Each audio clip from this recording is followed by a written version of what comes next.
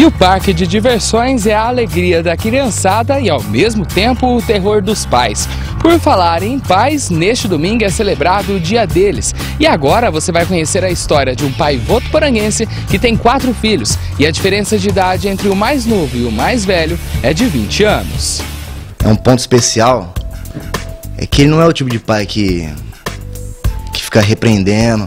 Ele sempre me deixa na liberdade de errar, se precisar ele me dá uns toques.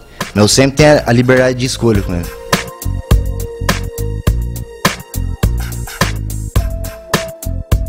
Pai é ser amigo, é viver o dia a dia, né? Tá sempre participando. Né?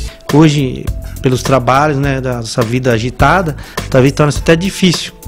Mas a gente vai tentando daqui e dali, né? E vai levando a vida, né? Mas com responsabilidade, principalmente, é isso que eu penso.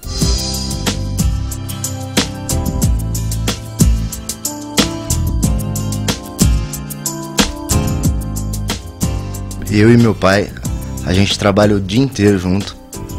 E a nossa relação é de pai e filho, de ele me ensina, eu tento, se eu errar ele me ajuda e a gente vai crescendo junto. Eu ajudo ele no dia a dia na empresa, né?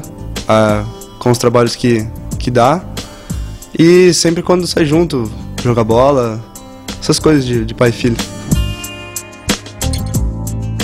jogar futebol, é, ir é, jogar bilhar, é, ping-pong.